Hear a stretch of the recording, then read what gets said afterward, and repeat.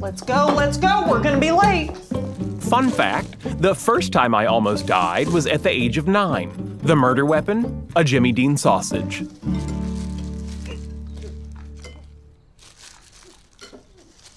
Mom, Sean is making faces at me.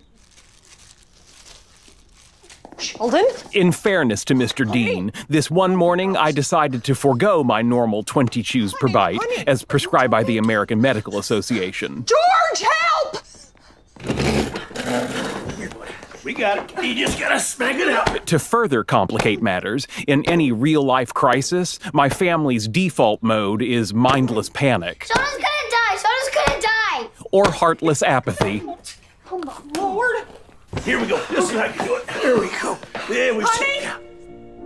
It's interesting the things you think about when life is ebbing from your body. Uh, for instance, linoleum.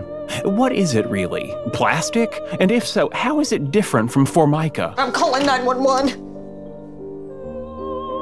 And what about Count Chocula? How is he a count? Did the title come with land? George, Heimlich!